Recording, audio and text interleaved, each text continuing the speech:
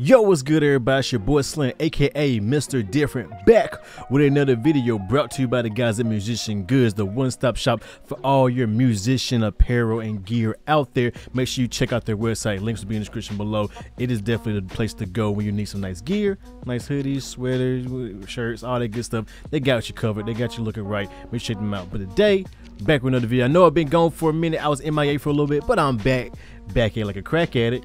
And today we're going to talk about how to sample, or I'm going to give you some tips and tricks to help you guys get better at sampling. Sampling is one of my uh, favorite things to do. You know, I love using loops. I love using samples, old or new, whatever. And I like to make beats around it because it's just fun for me to create, you know, definitely appreciate somebody who put the time and work in making a great song or whatever. And, you know, kind of making that to my own thing and uh, twisting up to my own style as well. So I'm going to show you guys how to do that inside of FL Studio. And don't worry, I'll be only using stock plugins. Might be using this little third party effects, but not needed. But mostly be using stock plugins. That way you can follow along with this in your DAW, which of course is gonna be FL Studio 20. We all love FL Studio. But yeah, so with that being said, let's go ahead and jump inside the video. I'm gonna show you guys some tips and tricks to help you guys get better at sampling. Let's go. All right, so here we are inside of FL Studio version 20, as always, my favorite DAW out there. And yeah, so you know, I'm gonna show you guys how to sample and what I do when I come sample. Now, the first thing, you know, the um, sample is, of course, finding a sample. Now, there are many ways of getting a sample out there. There is um, the free and pirated way, I guess you could say it was going to YouTube, looking up different samples, different genres, stuff like that. And then, you know, download it for something like things how utpmp3.com and download it from there. And, you know, getting the sample that way. Of course, you got to be careful of copyright and all that kind of stuff. And you got to be careful with that. But for the most part, you just put it up on YouTube, use it for your own production, whatever you're trying, trying to make money off of it, you know, go ahead and do what you gotta do. I definitely do. I mean, it's what it is. If they hit me and be like, yo, we need you to take it down, I'm like, hey, let's just go ahead and get the splits and all that good stuff. You know, I'm happy to work with um artists or whatever they pop out want to do that whatever record labels all that good stuff whatever i don't really care um or you can go somewhere like Tracklib which is a dope website let me go ahead and pull it up you can go somewhere like Tracklib, which is right here, which is basically like a curated place for loops of uh, for samples and loops and all that, where they basically allow you to download samples and you can know you can use it to either you know using your production and all that good stuff. And they also have ways of doing the royalties and splits and all that, and they have different pricing depending on that. And now they're at a subscription plan, so basically you pay a certain amount a month and you get credits and use them credits to actually download stuff. Before it used to be like you pay a dollar per download, but they just do now do it like you know a credit system, which I do like that better. It's easier, a little bit cheaper and you know, you go through, download stuff, chop it up, sample it, and if you're ready to use it, you just pay the uh, license fee right here, which is like usually 50 bucks for most songs, and then boom, you're good to go. You ain't gotta worry about getting copyright hitting all that, and they do the splits and all that themselves. So yeah, definitely check out Tracklib, or as they do it the YouTube way. So here's a little sample that I found right here. Just some random sample I found off of YouTube, looking up lo-fi samples. Is what it sound like.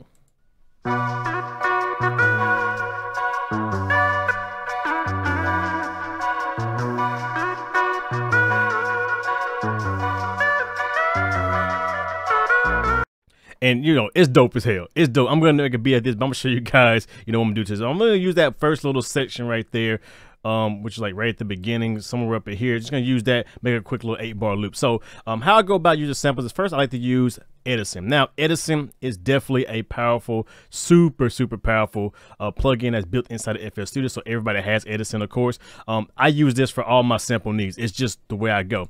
So what I'm gonna do is I'm gonna first bring up Edison. So we need to bring up Edison and then I'm gonna bring up the sample. I'm gonna drag it inside of Edison.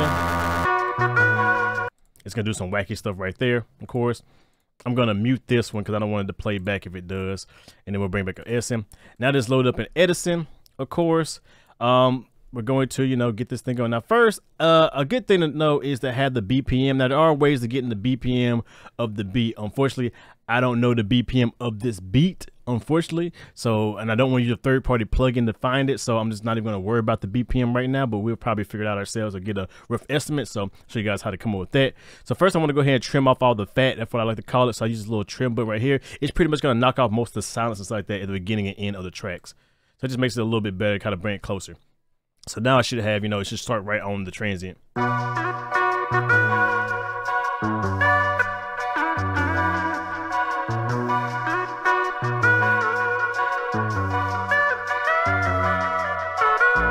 and I'm gonna use from right there on that. On that. So how we do about that? First, I'm gonna turn on loop, and then make sure I pause it. And then I'm gonna go to the end part where I want to it to stop, the one simple to stop, and I'm just gonna make like a little loop selection. So let me find that real quick.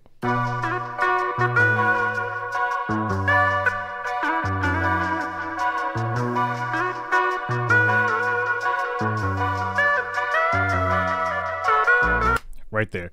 So we're just gonna go right here and I'm gonna drag back and that should make a little loop selection right there. So.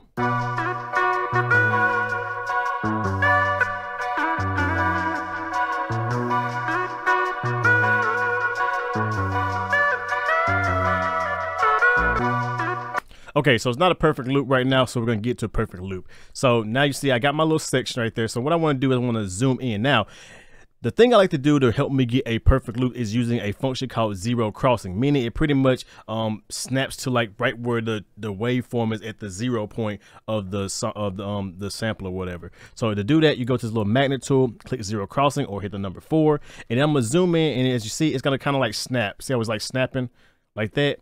I was jumping and snapping. That's basically setting it to the zero point, basically where you know the sample is right there at the mark zero right in that line. So I'm gonna try to do that until I get a perfect loop. So.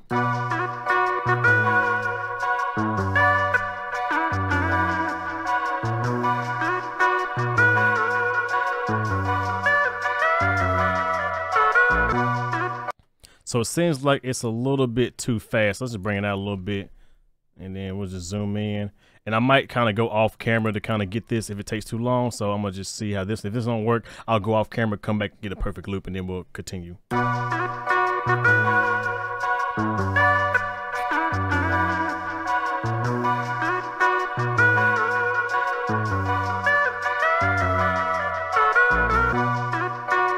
Yeah, so I'll be right back. Let me go ahead and get this perfect loop, and then we'll continue. All right, so we're back. I'm not gonna spend too much time. I could be here all day trying to get this. Um, you know, I, just, I like to be really, really, really precise with it. But this is what I got. This is what I came with. I did adjust a little bit of the beginning as well to have it snap a little bit quicker on the transient, and it helped out a little bit. So you might have to, you know, both trim the full, the front and the back of the sample to get it to get a perfect loop. So do keep that in mind. But here's what I got so far.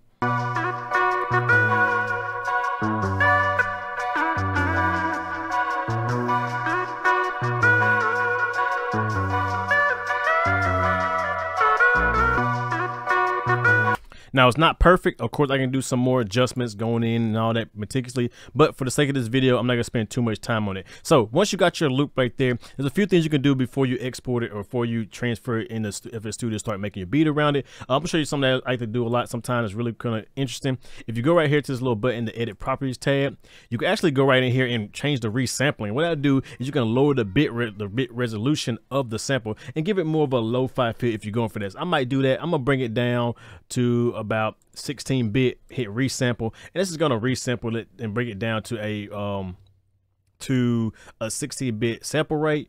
And I can also you know change the float point as well if you want to do stuff like that. I'm just gonna leave it at 32 bit float don't really matter. But change the bit rate it's gonna it's gonna kind of filter out a little bit of the highs and stuff like that. So now if I go back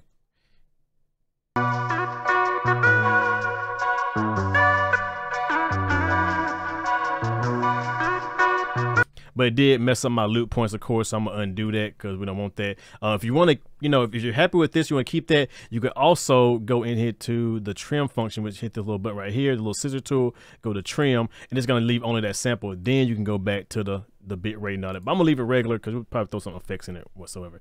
Okay now i'm happy with this sample. How do i get it inside FL Studio? Thing i like about using stock plugins and stuff like that inside FL Studio they all work really well. If you click this little button right here you actually drag it into there. So boom. Now you have right there. there you go. Now you have it right in there. And I can play the loop, of course.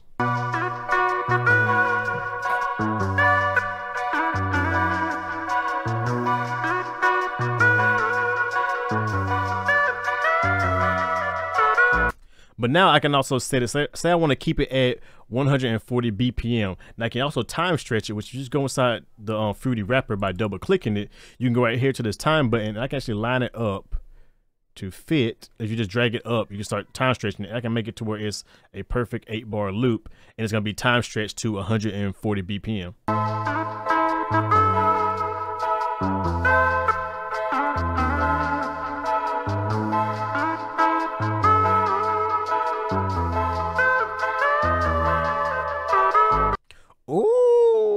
Let's let's um pitch it down a little bit.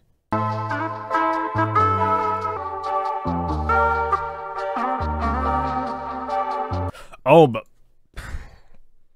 I'm gonna make a beat of this video. Oh, and then you can also change the actual um resampling or time stretching modes, and they got different ones that do different things. You can resample it, you can stretch it, and it you know does different sound. It, it kind of changes the way the algorithm works.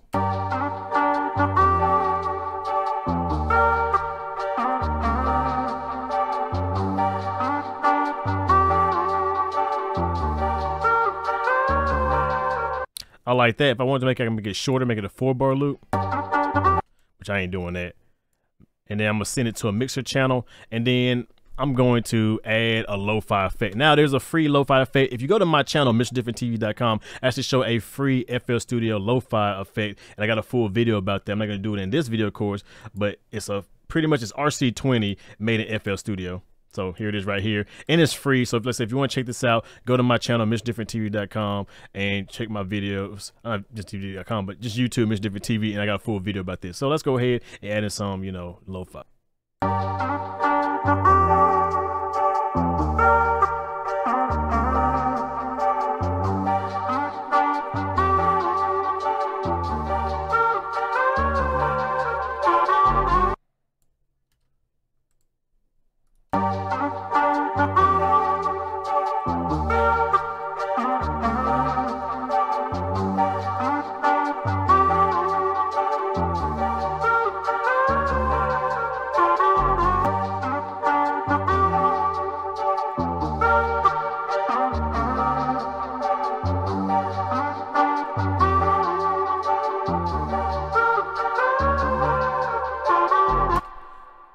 Oh man, that's sounding good already. Let me add like a little loop, like a little put a little percussion loop up in there. And then we're gonna time stretch that as well. Make sure it fits.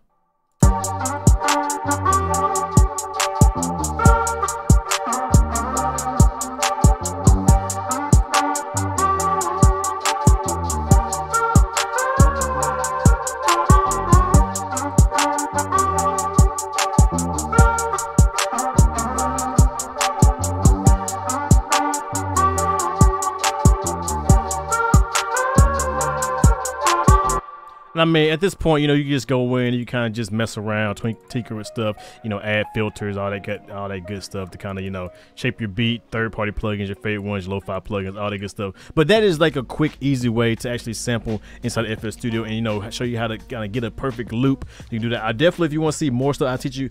I can't make a video on how to do like choppers like that. If you want to do like some boom bap type stuff, I would do it in this video, but it'll be a longer video. But if you guys want to see me actually go and show you how to chop samples instead of just, you know, how to sample and get a loop, you know, leave it in the comments below. Let Musician Goods know what you want. And I will definitely make another video actually talking about chopping sample up, you know, kind of get them in the groove and all that kind of stuff and use all stock plugins as well. So yeah, that's a pretty easy video. Like I said, y'all know who it is. Your boy Slim, aka Mr. Different, not motivated by the money, but the like, comments, and views. Hope you guys enjoy like always. Shout out to the guys at Musician Goods for letting me come back to the channel and dropping these dope videos. If you guys want to see any more things, make sure you follow the guys, subscribe to the channel, leave a thumb up, check my channel out as well. Let us know what type of videos you guys want to see, and so we can actually bring them videos to you guys because we want to get more heavy into these videos. So yeah, with that being said, I'm gonna let y'all listen to this loop again, and I catch you guys in next video. Have a good one, everybody. Thank you.